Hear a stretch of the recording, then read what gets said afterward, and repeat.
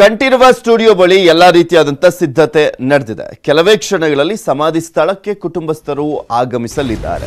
ಅಪ್ಪು ಸಮಾಧಿಗೆ ವಿವಿಧ ಹೂವುಗಳಿಂದ ಅಲಂಕಾರವನ್ನ ಮಾಡಲಾಗಿರುವಂಥದ್ದು ಐದನೇ ದಿನದ ಒಂದು ತಿಥಿ ಕಾರ್ಯ ಇದ್ದಂಥ ಸಂದರ್ಭದಲ್ಲಿ ಆ ಟೈಮ್ನಲ್ಲೂ ಕೂಡ ವಿಶೇಷವಾಗಿ ಹೂವಿನ ಅಲಂಕಾರವನ್ನ ಮಾಡಲಾಗಿತ್ತು. ಈಗ ಮತ್ತೆ ಅದನ್ನ ಚೇಂಜ್ ಮಾಡಲಾಗಿದೆ.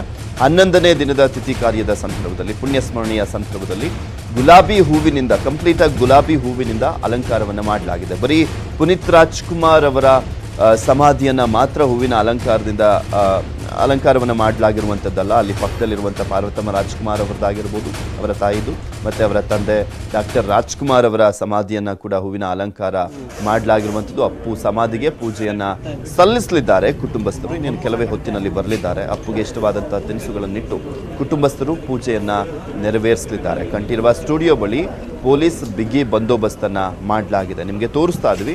ಆ ದೃಶ್ಯಾವಳಿಗಳನ್ನು ನೀವು ಕೂಡ ಗಮನಿಸ್ತಾ ಇದ್ದೀರಾ.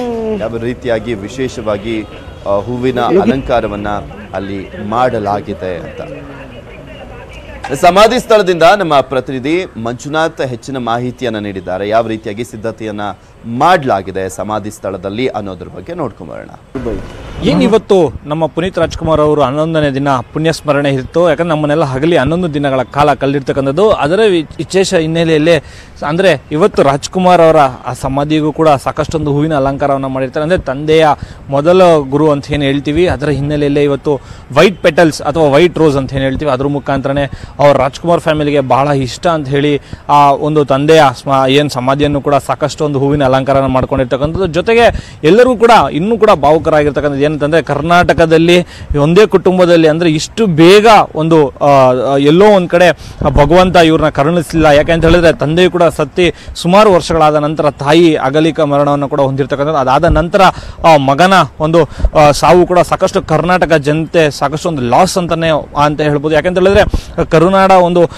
ಅಪ್ರತಿಮ ಪ್ರತಿಭೆ ಅಂತಲೇ ಹೇಳ್ಬೋದು ಪುನೀತ್ ರಾಜ್ಕುಮಾರ್. ಯಾಕೆಂತ ಹೇಳಿದ್ರೆ ಸಾಕಷ್ಟು ಜನರು ನಾವು ಕೂಡ ನಾಲ್ಕು ದಿನಗಳಲ್ಲಿ ಏನು ಕವರ್ ಮಾಡಿದ್ವಿ, ಈಗ ಏನು ಪುನೀತ್ ರಾಜ್ಕುಮಾರ್ ಸಮಾಧಿ ಬಳಿ ಇರ್ತಕ್ಕಂಥ ನಾಲ್ಕು ದಿವಸದಲ್ಲಿ ಕೂಡ ಅಭಿಮಾನಿಗಳ ಸಂಖ್ಯೆ ಕೂಡ ಇನ್ನೂ ಕೂಡ ಕಡಿಮೆ ಆಗಿಲ್ಲ. ಈಗಾಗಲೇ ಪರತಮ್ಮ ರಾಜ್ಕುಮಾರ್, ನೀವೇನು ನೋಡ್ತಾ ಇದ್ದೀರಾ ಪರತಮ್ಮ ರಾಜ್ಕುಮಾರ್ ಸಮಾಧಿಯು ಕೂಡ ಸಾಕಷ್ಟು ಒಂದು ಪುಷ್ಪಾಲಂಕಾರ ಆಗಿರ್ತಕ್ಕಂಥದ್ದು. ಅವರ, ಅಂದರೆ ಪುನೀತ್ ರಾಜ್ಕುಮಾರ್ ಅವರ ತಾಯಿ ಸಮಾಧಿಯು ಕೂಡ ಸಂಪೂರ್ಣವಾಗಿ ಒಂದು ಪುಷ್ಪಾಲಂಕಾರ ಆಗಿರ್ತಕ್ಕಂಥದ್ದು ಅವ್ರು ಅಲ್ಲೂ ಕೂಡ ಒಂದು ವೈಟ್ ಪೆಟಲ್ಸನ್ನು ಯೂಸ್ ಮಾಡಿರ್ತಕ್ಕಂಥ ನೀವು ನೋಡ್ತಾ ಇರ್ಬೋದು, ಅಲ್ಲಲ್ಲಿ ಏನೊಂದು ವೈಟ್ ಪೆಟಲ್ಸ್ ರೋಸ್ ಅಂತ ಏನು ಹೇಳ್ತೀವಿ, ಮತ್ತು ಕೇಸರಿ ಬಣ್ಣದ ರೋಸ್ ಅಂತ ಏನು ಹೇಳ್ತೀವಿ, ಎಲ್ಲನೂ ಕೂಡ ಹಾಕಿ ಹೂಗುಚ್ಛವನ್ನು ಅಲ್ಲಿ ಮಧ್ಯದಲ್ಲಿ ಇಟ್ಟು ಒಂದು ಅಲಂಕಾರವನ್ನು ಮಾಡಿರ್ತಕ್ಕಂಥದ್ದು.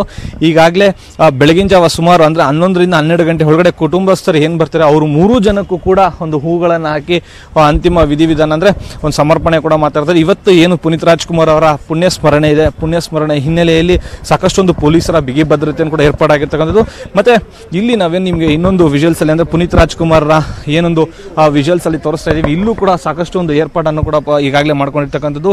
ಅಂದರೆ, ಇಲ್ಲೂ ಕೂಡ ಕುಟುಂಬಸ್ಥರು ಬಂದರೆ ಅಂತಿಮವಾಗಿ ಈ ಹೂ, ಹೂವನ್ನು ಚೆಲ್ಲೋ ರೀತಿಯಲ್ಲಿ.